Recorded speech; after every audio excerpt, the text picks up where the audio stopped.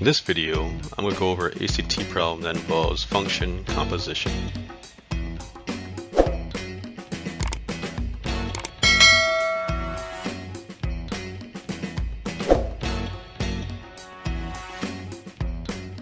So let's read, the two functions are defined as f of x equals 3x minus 1 and g of x equals x squared plus 2.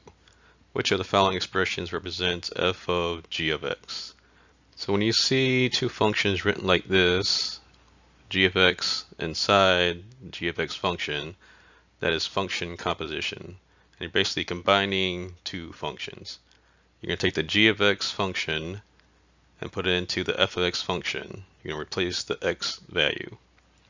So if f of x equals 3x minus 1, you're going to replace the x with x squared plus 2, which was the g of x function. So now they're combined, and I just want to distribute the 3, 3x squared,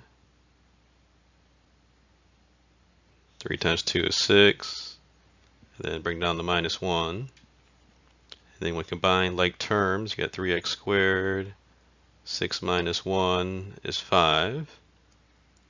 Okay, so after you perform the function composition, you get 3x squared plus 5, and that is your answer. So your key here is replace what's the g of x function, which is x squared plus 2, replace the x in the f of x function with x squared plus 2. Then you combine like terms and simplify.